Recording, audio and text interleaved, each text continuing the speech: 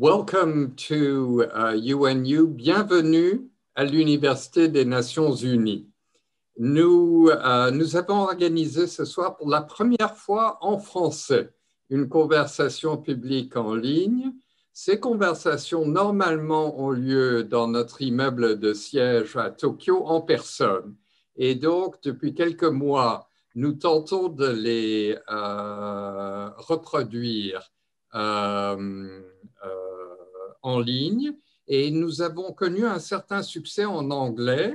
Et donc, nous avons voulu lancer ce soir une tentative de, pour rejoindre le public francophone qui pourrait s'intéresser soit à l'université, sûrement à nos invités dans ces conversations. Et ce soir, j'ai le grand honneur d'accueillir euh, l'écrivain français Daniel Rondeau, euh, qui, dont vous aurez lu le parcours qui est, euh, qui est singulier d'ailleurs, parce que journaliste et écrivain, élu à l'Académie française l'an dernier, mais aussi une parenthèse importante en diplomatie internationale au service de son pays, la France. Et donc, euh, une, carrière fulgurante et intéressante euh, avec des éléments euh, qui, sûrement seront évoqués pendant notre conversation.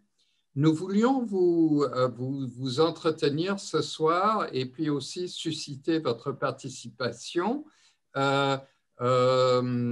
sur le patrimoine et un peu le patrimoine vu à travers euh, la programmation de l'UNESCO, où Daniel a représenté la, euh, France plusieurs années, qu'il connaît euh, superbement bien. Et, et ce concept du, patrimoine, quand il a été, je pense, avancé très rapidement, d'ailleurs dans l'histoire de l'UNESCO, euh, mais qui a été de plus en plus parrainé par l'UNESCO internationalement, euh, se prête à des interprétations multiples et, et, parfois un peu confuses. Et donc, ma première question pour Daniel, c'est comment envisage-t-il, dans le contexte de l'UNESCO, mais aussi dans le contexte euh, plus large des civilisations, peut-être, ce concept de patrimoine? Daniel. Euh, bonjour David, merci infiniment de, m'avoir invité à cette, à cette conversation. Alors le patrimoine pour l'UNESCO, c'est naturellement quelque chose de très important. Et je dirais presque, c'est ce que les gens connaissent de l'UNESCO aujourd'hui. Naturellement, les activités de l'UNESCO, sont un peu tout-terrain, notamment en matière d'éducation, en matière de sciences, en matière de défense des libertés, mais quand on parle à des gens de la rue de l'UNESCO, tout de suite, ils pensent patrimoine. Hmm. Je pense que l'essor, le, le, succès de cette, euh, cette estampille patrimoine de l'UNESCO date de la destruction qui a été évitée des temples de Nubie en 1960 en Égypte. À ce moment-là, il y a eu un grand euh, mouvement euh, international pour, pour, essayer de sauver ces, temples. Et ce mouvement s'est concrétisé, s'est incarné dans une salle de l'UNESCO où André Malraux, qui était à ce moment-là ministre de, la Culture, l'écrivain français, est venu expliquer pourquoi nous devions défendre les temples de Nubie.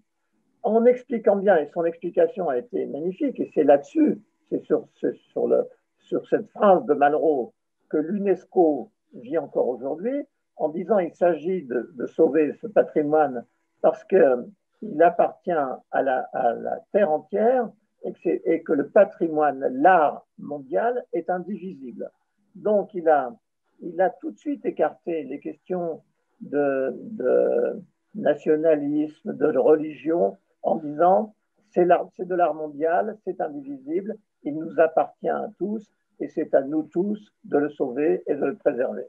Alors depuis, c'est vrai que l'UNESCO a distribué, euh, bon, il y a la liste euh, du patrimoine, chaque année de nouveaux sites sont, sont inscrits, Et la plupart des sites, vous avez commencé par parler de, bon, naturellement des, monuments du passé, et c'est quelque chose, je pense, ce n'est pas la seule chose, on va en parler, mais c'est quelque chose de très important parce que ça montre bien, ça révèle bien deux choses. À la fois euh, euh, la complexité de notre histoire, euh, je pense à, à, cette, à, cet écrivain britannique qui s'appelait Téziger, Wilfred Téziger, mmh. qui a beaucoup écrit sur l'Irak. Il a écrit un, un livre qui a été un best-seller mondial qui s'appelait L'Arabe des marais. Mmh. Donc, il se, il s'est promené dans tous ces villages de l'ancienne Mésopotamie et il disait en fait, il nous dit en fait, les Sumériens ont bâti leur cité sur des ruines euh, informes euh, de villages, des ruines qui étaient en limon, en pierre, en palme, et en fait, qui étaient sans doute au départ la première civilisation mondiale. Donc on voit comment l'histoire, comment l'homme grandit dans l'histoire, comment il se développe, comment il développe, il peut développer une civilisation. Et quand je disais que c'est une histoire complexe, très compliquée, et en même temps de connaître tout cela, de connaître cette complexité, je pense que c'est très important pour nous aujourd'hui, parce que notre présent, il est très complexe aussi. Et pour entrer dans la complexité du présent, il faut quand même s'inspirer de la complexité du passé. Ça nous donne des armes, des armes de compréhension, des armes d'intelligence. Euh, euh, on est beaucoup plus fort pour comprendre notre présent quand on a euh, un peu compris le passé. C'est Churchill disait les peuples qui n'ont pas de passé n'ont pas d'avenir. Et c'est quelque chose Pardon.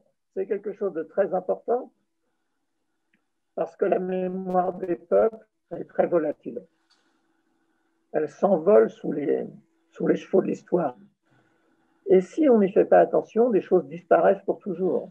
Et il y a des choses qui nous deviennent incompréhensibles dans notre présent. On se demande pourquoi tel peuple réagit de telle façon, pourquoi dans telle ville les gens font ci ou font ça.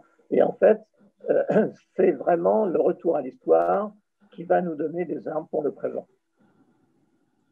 Euh, et, écoute, euh, magnifique résumé de, la façon d'imaginer le patrimoine. À l'UNESCO, néanmoins, le patrimoine a donné lieu à, comment dire, il y a eu toute une série d'initiatives qui se sont construites sur le concept de patrimoine, dont une idée de la mémoire du monde, de la, mémoire partagée du monde. Et ce concept s'est avéré politiquement assez sensible dans la mesure où différentes euh, populations à travers le monde ont une conception assez euh, concurrente, mettons, de l'histoire. Euh, et je voulais te demander de nous en parler un peu à partir de ton expérience à l'UNESCO. Bon, alors c'est vrai que le, succès du, patrimoine, de la liste UNESCO du patrimoine, a incité euh, les responsables de l'UNESCO et les ambassadeurs de l'UNESCO à décliner cette appellation euh, liste du patrimoine sous différentes formes. On a maintenant aussi le patrimoine immatériel. Bon, vous avez peut-être vu qu'on il y a des, les Napolitains veulent faire entrer euh, la pizza de Naples sur la liste du l'inscrire sur la liste du patrimoine immatériel.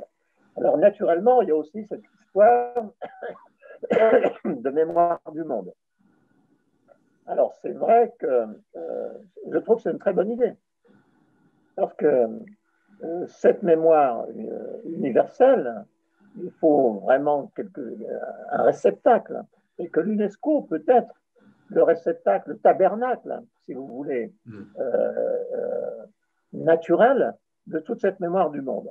Simplement, c'est très compliqué parce que c'est très compliqué de manipuler l'histoire.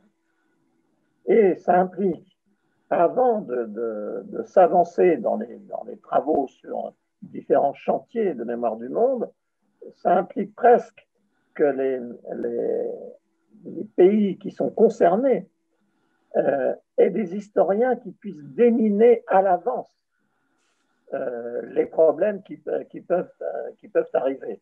Parce qu'on voit bien que sur un certain nombre de, sujets qui sont graves, euh, historiquement graves, qui sont des sujets, qui sont des tragédies, puisqu'on parle de, euh, il y a pu y avoir des guerres, je pense à la guerre euh, sino-japonaise, mais je pourrais prendre aussi l'exemple des camps, des camps allemands, quand par exemple on a voulu un Carmel, des carmélites ont voulu s'installer près d'un camp de concentration, tout de suite ça pose un problème. Donc cette mémoire, il faut euh, bien être conscient que c'est quelque chose d'important.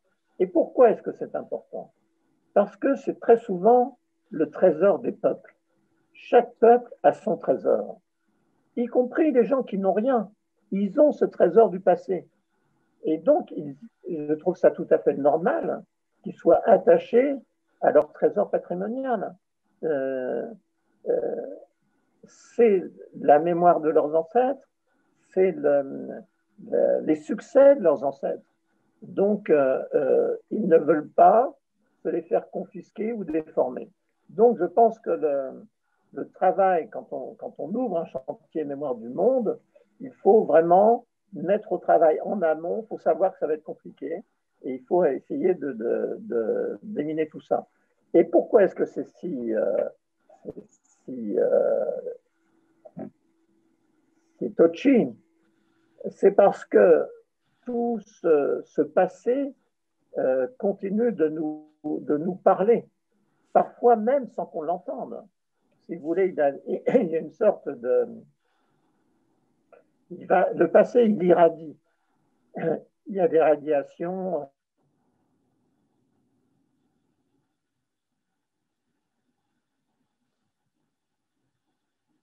parce que l'avenir est contenu dans le passé.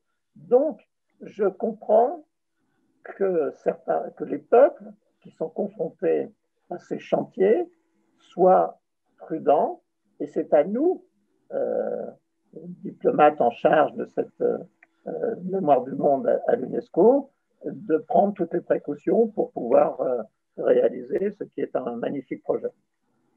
Voilà, et avant de nous tourner vers euh, les participants qui nous ont rejoints, euh, je voulais te sonder sur euh, la Méditerranée, qui, a été le site de, multiples civilisations, à, à, commencer en Mésopotamie, en Égypte antique, un peu partout autour de la Méditerranée. Et, et euh, qui est une source de richesse énorme, mais qui a aussi été, euh, comment dire, le, site de nombreux conflits entre ces civilisations et, l'interprétation de l'histoire euh, de cette région. Ce n'est pas un continent, la Méditerranée, mais c'est un univers, la Méditerranée, et, et beaucoup écrit là-dessus.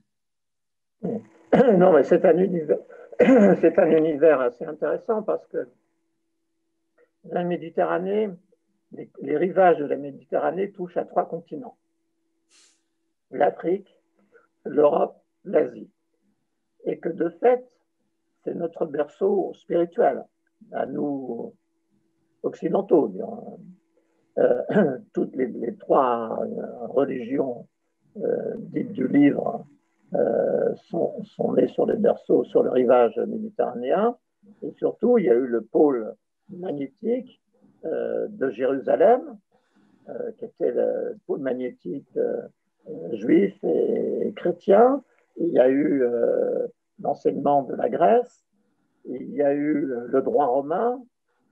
Tout ça a créé ce qu'on peut appeler une civilisation euro-méditerranéenne. Alors naturellement, elle est traversée par de nombreuses guerres. Ça commence assez tôt parce que euh, ce sont des, guerres d'aventure et de, conquête. Quand les Phéniciens quittent euh, la Phénicie, l'actuel Liban, ils partent sur explorer la Méditerranée. c'est au 8e siècle avant Jésus-Christ. Et ils vont implanter des comptoirs, et bon, ils ont des buts économiques. Et la Grande Guerre ensuite entre Carthage et Rome, c'est une guerre entre deux superpuissances économiques. Euh, chacun et, Rome, brusquement, euh, s'aperçoit que Carthage est, est, une, puissance très menaçante pour elle, et c'est une puissance navale. Et donc, c'est l'affrontement entre une grande puissance navale une puissance qui est adossée sur les terres européennes, qui est Rome. Bon, ça se termine par la, victoire de Rome, comme on sait. Et bon, pour parler aussi d'un autre point important de Méditerranée, c'est Alexandrie. Alexandrie, parce que tout ville fondée par Alexandre, 3e siècle avant Jésus-Christ, Alexandre part pour l'Asie en expédition, il a 20 ans. Il abandonne tout dans son pays d'origine, à Pela. Il donne ses palais, il part sans rien. Il part avec ses troupes, ses généraux. Il part avec des savants, avec des, botanistes, avec des historiens, avec des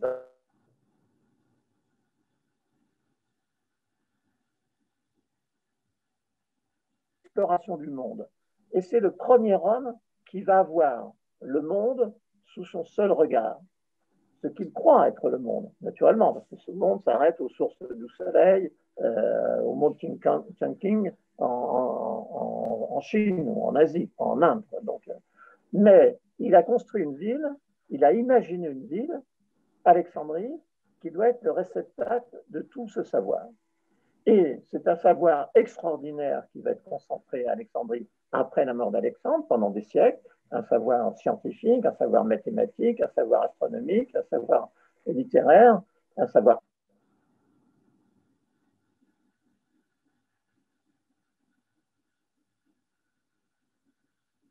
le monde entier, rayonner dans le monde entier. On trouve des Alexandries, euh, énormément d'Alexandries aux États-Unis, euh, un peu partout. Mais je vais prendre un exemple précis de ce rayonnement. Tombouctou, pourquoi je parle de Tombouctou? Parce que je reviens au patrimoine et à l'UNESCO. Euh, vous vous souvenez qu'en 2012, euh, euh, les islamistes avaient détruit les mausolées de Tombouctou. Oui. nous étions en séance pour le patrimoine, justement, à Leningrad, et j'avais lancé un appel qui a été repris par tous les ambassadeurs et par l'UNESCO pour sauver les, les mausolées. Tombouctou, ça a été, je parlais de Jérusalem, pôle magnétique spirituel pour l'Orient et pour une partie de l'Orient et pour l'Europe, Tombouctou, c'est un pôle magnétique pour l'Afrique. Hmm. Et, ça a été aussi un des grands lieux de, connaissance de l'islam. Beaucoup de, docteurs de l'islam étaient à Tombouctou, c'est pour ça qu'il y avait énormément de manuscrits. Mais qu'est-ce qu'on retrouve à Tombouctou dans les manuscrits? On retrouve aussi l'influence méditerranéenne, on est pourtant loin de la mer, on retrouve l'influence des savants d'Alexandrie. Et c'est ça que je trouve absolument extraordinaire, c'est de voir comment le savoir alexandrin, sur lequel nous, notre civilisation a prospéré, et nous en sommes conscients, nous savons, mais ce que nous ignorons, c'est que une partie de la civilisation africaine a aussi profité du savoir d'Alexandrie. Excellent, merci Daniel. Alors Sabine va nous dire, euh, ma collègue Sabine euh, Becker, va nous euh, va partager avec euh, vous une ou deux questions des participants. Donc Sabine. Bah, merci bien. La première question vient de, de M. Nas Lapoyard de l'Université de Tokyo. À travers il a posé la question en anglais, donc j'essaie de, faire mon mieux de traduire. À travers l'histoire, il fut pratique commune des civilisations qui se succédèrent de détruire, de défigurer ou même de bâtir sur les ruines des régimes passés. Puis même récemment, nous avons pu observer, par exemple, avec les, Bouddhas de Bamiyan euh, en Afghanistan ou les sites de Palmyre, ou bien l'enlèvement des statues lors de la période euh, après la chute du mur. Selon vous, à quel prix devrait l'histoire être préservée?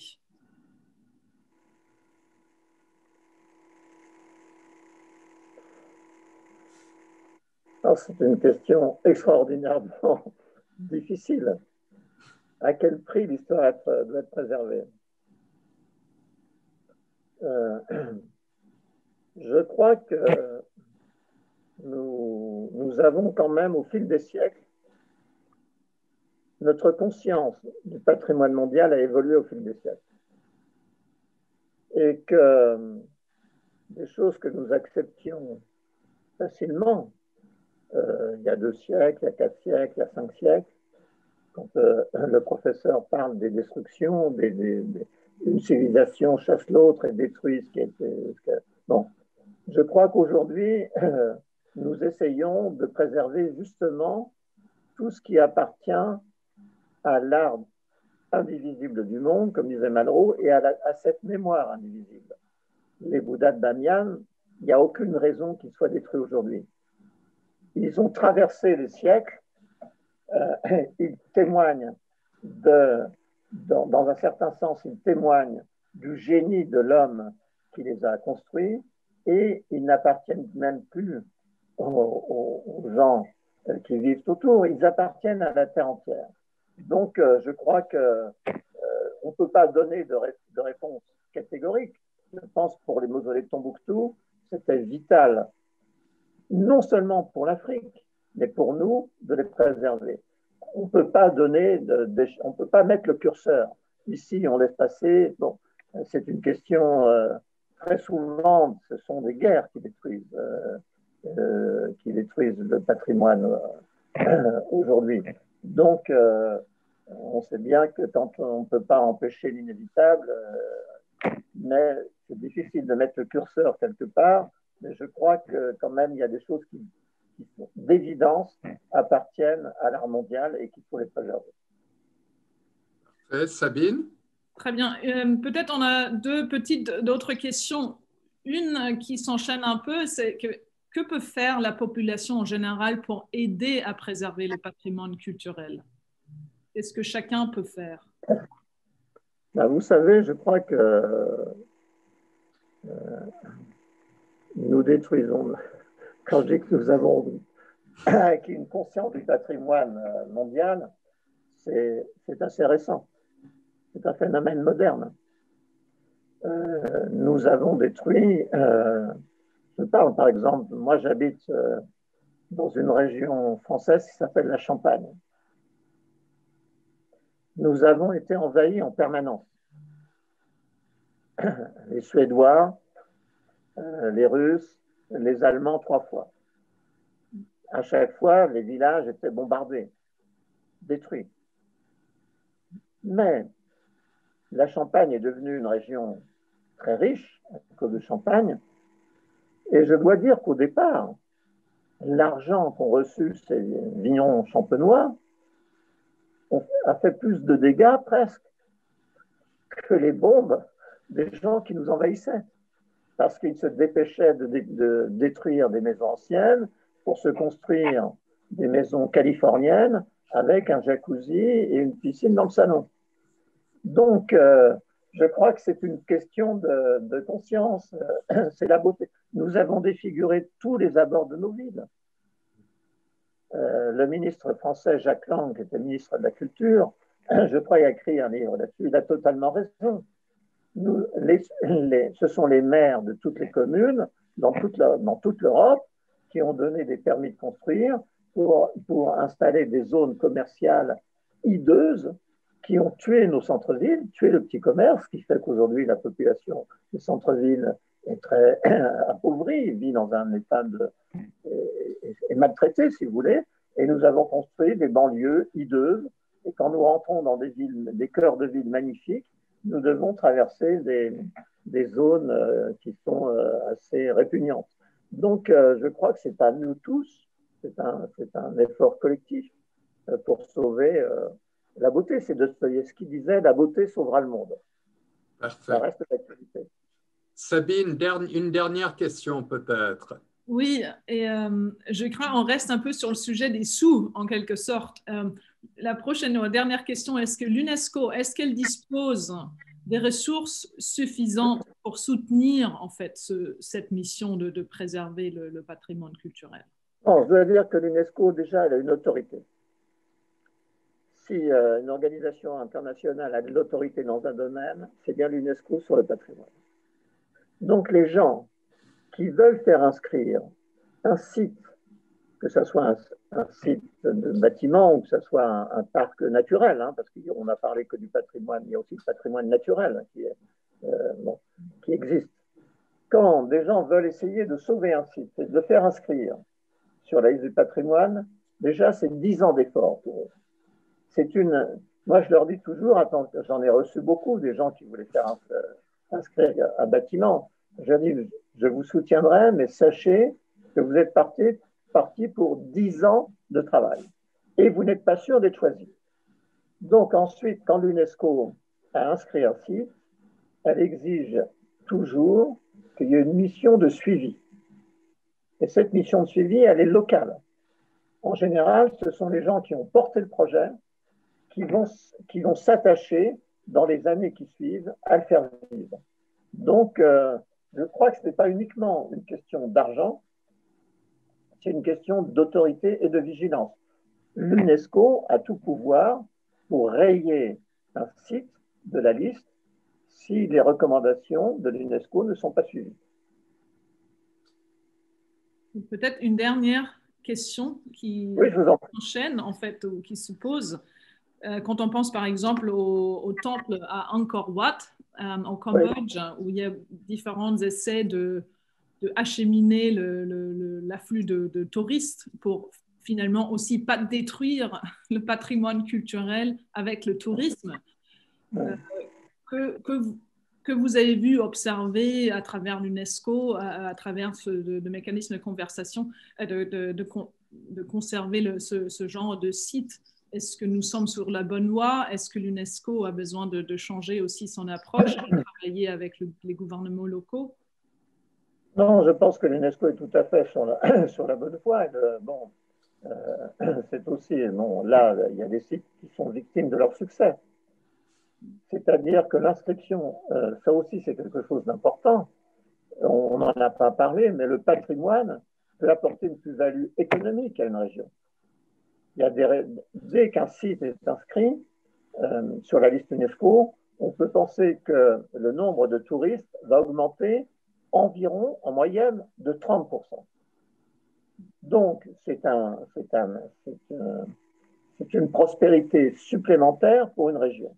Naturellement, trop, c'est ce que je disais tout à l'heure, trop pour la Champagne, trop de prospérité peut tuer, peut tuer le site. Bon, euh, il faut réguler ce tourisme de masse. Pour l'instant, la pandémie et le Covid s'en occupent. Je pense que nous repartirons après sur des bases qui seront peut-être un peu différentes. Parfait. Daniel, alors il me reste à vous remercier euh, pour euh, des propos réellement intéressants qui nous font réfléchir et je pense que sans, que ce soit notre intention au départ nécessairement, euh, à travers ce que euh, nous apprenons de vous, mais de ce que nous savons de toute façon nous-mêmes déjà, c'est un hommage à l'UNESCO et ce que l'UNESCO euh, œuvre à réaliser à travers le monde, à faire comprendre l'importance du passé la valeur du passé euh, pour nous tous. Et euh, je pense que c'est une mission de l'UNESCO qui a été, euh, qui est devenue de plus en plus importante au fur et à mesure des décennies de programmation qui se sont dans l'organisation. Et c'est quelque chose que j'admire énormément dans cette organisation sœur onusienne euh, qu'un concept assez nouveau sur le plan global ait pu être autant soutenu à travers le monde finalement, et, seulement à cause de la promotion qu'on a fait l'UNESCO. Je pense que c'est parce que ce projet d'UNESCO correspondait tout à fait à l'attente de population et des peuples. C'est-à-dire qu'on rentrait dans une période, dans une modernité, une accélération de l'histoire absolument inouïe euh, depuis 60 euh, ans. Le monde a plus changé en 60 ans qu'il a changé en 20 000. Et Et cette accélération de l'histoire entraînait un effacement de la mémoire. Et que beaucoup de, gens, de, peuples, de populations se sont rendus compte que tout ce qui, quand je parlais de leur trésor, que leur trésor allait disparaître. Et quand l'UNESCO est arrivé, comme ce discours de Malraux de 1960, en disant c'est de l'art mondial, c'est de l'art indivisible, ça nous appartient à tous, je crois que ça correspondait entièrement à un besoin plus ou moins exprimé euh, d'une majorité de gens. Et c'est de là qu'est venu le succès. Ensuite, l'UNESCO a fait magnifiquement son travail, je trouve. Merci beaucoup, euh, Daniel, euh, qui a été élu à l'Académie française l'an dernier, et pour de bonnes raisons que vous constatez si, vous avez suivi cette conversation. Euh, c'est pour nous euh, réellement un, grand plaisir de travailler avec lui dans le contexte de nos relations entre l'Université des Nations Unies et de l'UNESCO. Euh, et c'est une l'UNESCO est une institution dont les valeurs sont très très très partagées à travers le monde. Et euh, il y a beaucoup d'organisations onusiennes qui sont soutenues, mais la mission de l'UNESCO est particulièrement soutenue, me semble-t-il, par la population, les sociétés à travers le monde. Non, non, vous avez entièrement raison. Et, en même temps, très souvent, les gens ne savent pas qu'il y a aussi des choses très concrètes immédiatement. Par exemple, il y a eu des tsunamis en Méditerranée. Aujourd'hui, il y a une alerte tsunami en Méditerranée, j'aurais pu le dire quand on parlait de la Méditerranée, qui a été mise au point par des scientifiques sous l'égide de l'UNESCO. Bon, il y a énormément de choses très concrètes qui se font partout et qu'on ne connaît, connaît pas. C'est vrai que le, patrimoine prend un peu toute la lumière de l'UNESCO, mais euh, on n'a pas s'en plaindre. Non, exactement. Euh, donc, vive Malraux et sa mémoire. Euh, merci beaucoup, merci beaucoup, Daniel et j'espère que vous nous reviendrez en personne à Tokyo pour la série que nous proposons au public ici. Merci. Bonsoir. Merci Sabine et à bientôt, j'espère. À bientôt.